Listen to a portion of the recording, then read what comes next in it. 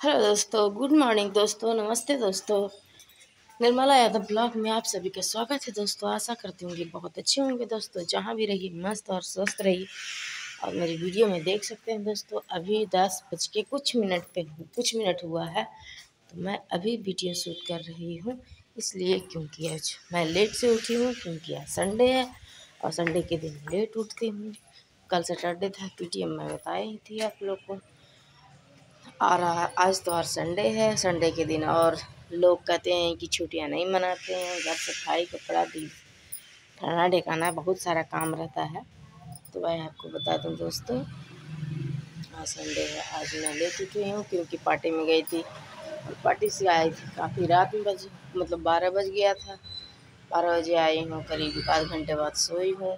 एक एक बजे तो ज़ाहिर सी बात है दोस्तों, लेट सोऊँगी तो लेट ही नींद टूटेगा। तो ठीक है दोस्तों,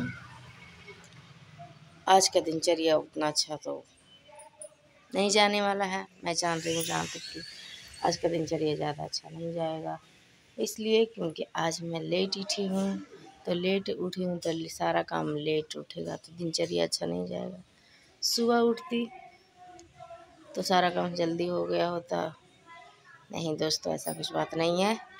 आज भी कोई काम नहीं है। खाना पीना नहीं बनाना है, क्योंकि हसबैंड जी गए हैं कहीं कुछ काम से। और खाना पीना उधर ही है उनका। तो बच्चे लोग हैं और मैं हूँ। तो खाना अभी मतलब ज़्यादा कुछ नहीं बनाना है। दाल चावल चोखा बना लूँगी, उसके बाद खाना खा लूँगी। तो अभी तो बनाई नहीं हूँ। अभी झाड़ू लगाई हूँ, जा रही हूँ नहाने।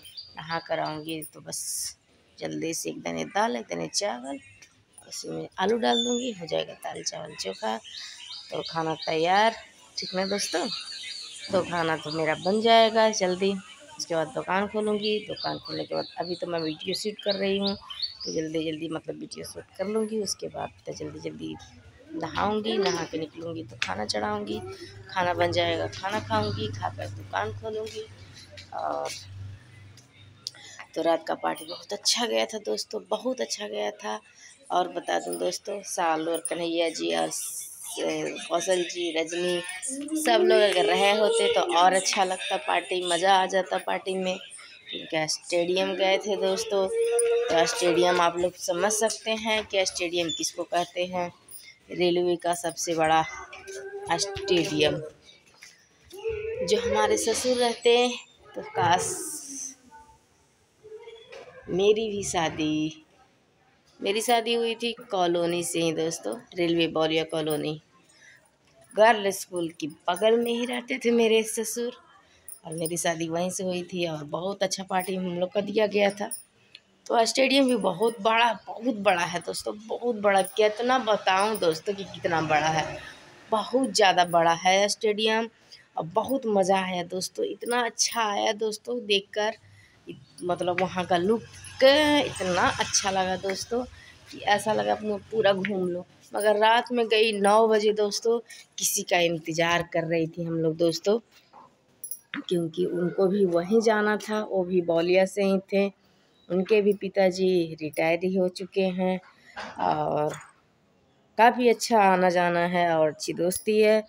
तो उन्होंने कहा कि मम्मी को लेकर मैं भी आऊँगा तो इसलिए भाभी अभी मत जाइएगा और साथ में हम भी चलेंगे। तो इसकी वजह से, उनकी वजह से रात का नौ बज गया, क्योंकि मैं तो तैयार थी। क्योंकि यहाँ दो और लोग के बारात जा रही थी तो परछामन में गई थी। एक मेरी किरदार जो, किरदार थी मतलब तो पहले रहती थी, और उन्हीं के भाई का शादी था। तो वो परछामन में बुलाई थी तो कार्ड हमारे यहाँ मिला था, और बुलाने भी आई थी परछावन में। तो इसलिए दोस्तों उनके यहाँ भी जाना पड़ा। फिर बताई ही थी दोस्तों कि पंडित एंड कास्ट के। उनके यहाँ भी लड़के का शादी था तो उनके यहाँ भी जाना पड़ा दोस्तों परछावन में। तो दोस्तों दो यहाँ एक तीसरा लड़की का। तो तीन पार्टी था रात में और बड़ी वाली ननद भी बुलाई थी क्योंकि उनके देवरानी के लड़की का बर्थडे था। उन्होंने बुलाई हुई थी। पर उनके यहाँ नहीं पहुँच पाए दोस्तों, उनके यहाँ जाती तो पूरा पार्टी ख़त्म हो गई होती दोस्तों। तो इसलिए वहाँ नहीं जा पाई क्योंकि जबकि वहाँ अपना था, वहाँ जाना ज़रूरी था दोस्तों। मगर जाना ज़रूरी केवल नहीं होता है ना दोस्तों ले कुछ ले जाना भी चाहिए उसके लिए। तो दोस्तों, इधर किधर ले जाते, इधर ले जाते कि उधर ले जाते कि तो दोस्तों, आप समझ सकते हैं प्रॉब्लम क्या हो सकता है लोग अब वहाँ जाने का रीज़न ये था भी दोस्तों क्योंकि अपनी ननद का बच्चे का तो था नहीं। उनकी देवरानी के बच्चे का था। और भले बुलाई थी मगर अच्छा नहीं लगता है दोस्तों किसी के यहाँ। हम्म, बस वही समझिए दोस्तों अपना परिवार रहता है तो बात कुछ और होता है अपना परिवार। है तो अपना ही सब हैं अपने क्योंकि उनकी देवरानी है। तो दूर की रिश्तेदार तो है नहीं। मगर अच्छा नहीं लगता है दोस्तों अच्छा कुछ नहीं लेके जाइए तो तो इसलिए थोड़ा बुरा लगा दोस्तों, अजीब लगा तो इसलिए यही नहीं वहाँ। और अपना मानने से होता है दोस्तों किसी को किसी को अपना मानेंगे नहीं तो कोई मुझे क्यों अपना मानेगा? तो अपना, उन्होंने बताया, उन्होंने बताएँ कि मतलब बर्थडे है, आना है आप लोगों को, सभी लोग को तो चार लोग तो हैं ही हम लोग दोस्तों, कहीं भी घुस जाएँगे पार्टी में। तो और रहा सवाल, पार्टी का केवल नहीं दोस्तों, कुछ ले जाना भी चाहिए। जैसे कि कपड़ा हो गया, पैसा देने से नहीं केवल होता है दोस्तों। कुछ अच्छा कपड़ा दीजिए तो लोग पहने तो कहीं कि नहीं मतलब ये दिए थे और ये अच्छा लग रहा है। तो ऐसा मतलब महसूस होता है दोस्तों।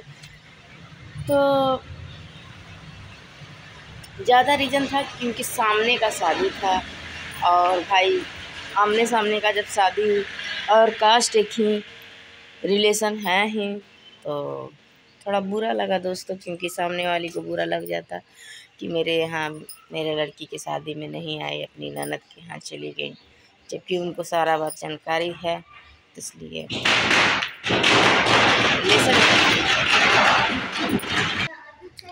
पार्टी में कैसे वीडियो शूट किया जाता है, अभी इतना जानकारी मुझे नहीं है। दोस्तों, एक, कुछ लोग मिले थे, मोहल्ले के ही थे। मेरे वीडियो, मेरा वीडियो देखते हैं और मुझे लाइक करते हैं सब्सक्राइब करते हैं कमेंट करते हैं। अच्छा लगता है उनको मेरा वीडियो तो वो मिले थे तो वो बता रहे थे कि भाभी, आपका यहाँ व्यूज़ बहुत ज़्यादा जाएगा। यहाँ वीडियो बनाइए, कई बार जी लगते हैं। बता रहे थे ऐसे ऐसे, कि ऐसा ऐसा होगा दोस्त, आपको तो मुझे कैसे म्यूट करके बनाया जाता है वीडियो दोस्तों? अभी मैं मेरे को जानकारी नहीं है और मैं अभी जाऊँ, कल जाऊँगी कन्हैया के घर, कन्हैया जी के घर। तो मैं उनसे और कौशल जी से पूछूँगी कि ऐसे मतलब शादी में मतलब कैसे वीडियो बनाया जाता है और कैसे डाला जाता है? मुझे अभी पूरा जानकारी नहीं है। उन्हीं लोग से सीखे हैं, उन्हीं लोग की वजह से हम इतना आगे बढ़ भी गए हैं दोस्तों। तो उनको मतलब एक बार और पूछेंगे कि कैसे मतलब बनता है, क्या, कैसे किया जाता है। तो दोस्तों, आप लोग को जानकारी दे दूँ। आप लोग को भी अगर, आप लोग को आता है तो हमें बताइए कि कैसे बनाया जाता है, कैसे वीडियो शूट किया जाता है। और मोहल्ले का पार्टी था दोस्तों, अगर वीडियो बनाई भी होती तो उसमें अगर उन लोग भी, उन लोग वीडियो में आ जाते और मेरा वीडियो सब लोग देखते हैं तो इसलिए मुझे सही नहीं लगा दोस्तों तो इसलिए वीडियो नहीं बनाई। तो दोस्तों, ठीक है, मिलते हैं अब नेक्स्ट वीडियो में। और तब तक के लिए बाय लाइक शेयर कमेंट करना सब्सक्राइब करना मत भूलिएगा दोस्तों। और मुझे सपोर्ट कीजिए दोस्तों। आप लोग मेरा वीडियो क्यों नहीं देखते हैं? आप लोगों क्या मैं अच्छी अच्छा से बोलती नहीं हूँ? या मैं अच्छी लगती नहीं हूँ? या मैं क्या मुझमें कमी है जो आप लोग बताइए कमेंट में दोस्तों कि मैं कैसे बोलती हूँ? कैसे क्या मतलब आप लोग को किस बात, कैसा मतलब वीडियो पसंद है, ऐसा मतलब बताइए। तो मैं उसी टाइप का वीडियो बनाऊँगी दोस्तों। और मेरे को भी सपोर्ट कीजिए दोस्तों। बहुत ज़्यादा लंबा वीडियो हो गया है, दस मिनट का होने जा रहा है। तो अब ज़्यादा लंबा नहीं करूँगी, इसलिए बाय बाय नेक्स्ट वीडियो में मिलते हैं दोस्तों।